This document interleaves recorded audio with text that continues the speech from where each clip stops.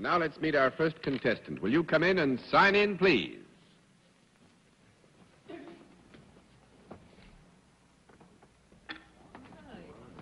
Well, I just thought it might help them if you did. Oh, no, that's wrong. I can't do that.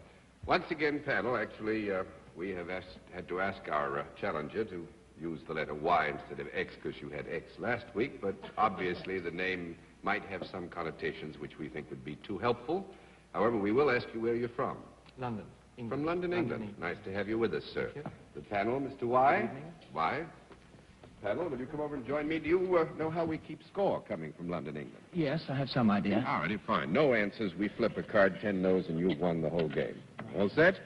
Then let's let the folks at home and our friends in the audience here in the theater know exactly what your line is.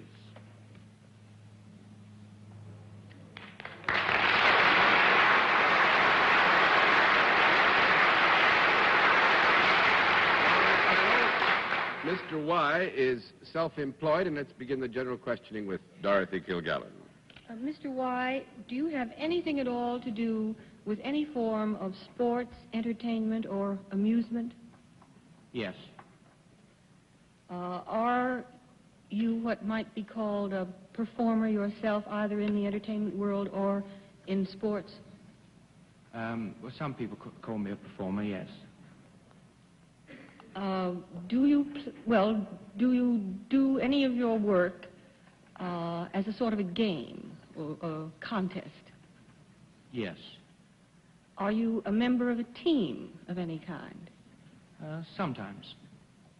Or is it also something that you could do without being a member of a team? Yes. Do you ever do it out of doors? Yes. Is it possible to do it indoors? It's possible, but not likely. Uh, is it um, something at, at which men play more often than women? More often, yes.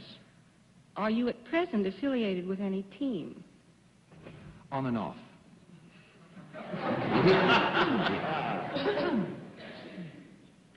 Goodness, I think I'll pass for the moment. I, I... Thank you very much. You're welcome, Tony. Now, I remember reading something in the paper last week about some British sporting event. Were you involved in that event? It No. made the New York... I, well, I don't think I was. You- I, I may not have read that. one. I got a nice fast no, didn't I? You read in the paper about a British sporting event, and you wish to know if our guest was involved in that event. Yes. That makes it one down and nine to go, Miss Francis. Now, Mr. Y, it really is something that would be unlikely indoors. I mean, Yes, actually, Yes. uh, it You're- could be done indoors, and I think it has indoors. been done indoors, but so it is, it- it's not I often. may rule out auto racing, I don't think you which is hardly ever done indoors.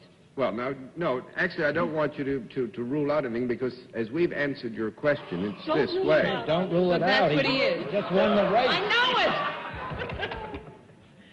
yes, there Yes. was just an enormous auto race that... Uh, there wasn't? Yes, down in Just a minute, we have to have a little meeting here. May we have a little You little may meeting? have 15 seconds for a conference. He won it with a Ferrari. Did you win it with a Ferrari, dear? Did I? No, I did not. That's two down and eight. I'll thank you to keep. Then uh, we've been led down the garden path, and it's correct that you are not an automobile racer. Is that right? Your question, you are not an automobile I, racer? I well, I'm going to say, uh, are you an automobile racer? Am I an automobile racer? Yes. You are. Yes, I'm afraid so.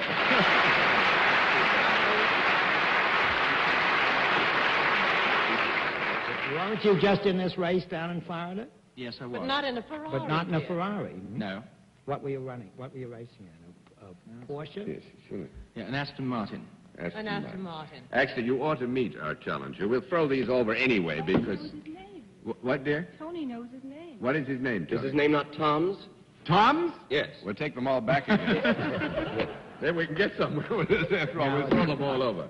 I don't know, Mr. Mr. Stirling Moss. I mean Moss. Stirling Moss. I get names mixed up, Stirling Moss. Actually, uh, tell us a bit about the Sebring. You were doing very well, and then things went a little bit awry for you, didn't they? Yes, the uh, unfortunately the gearbox. Um, we had some trouble with the gearbox during the race, which put us out after about uh, I think five hours. But and you were leading when you had the trouble. Uh, just about to, as a matter of fact, not yeah. quite. Actually, I think that uh, so that you have everything in perspective, you should know that Mr. Moss has won most of the major races, automobile races in the world. The Grand Prix of Europe in 1957, the Grand Prix of Monaco, the Grand Prix of Italy. In fact, I guess anywhere they have a Grand Prix, you usually find Mr. Moss running out ahead of everybody else. And we're sorry that you had the bad luck with the gearbox in Florida, but hope you had a good visit with us Yes, we did. in America and here in the program. And I'm sorry we didn't Could give we them ask more one- trouble. I'd like to ask one professional question. Yes. uh, Mr. Morse. What do you think the best racing car is today?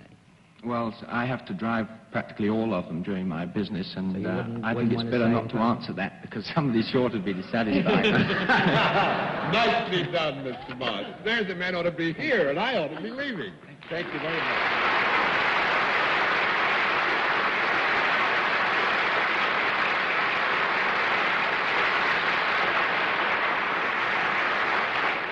Very good start, panel.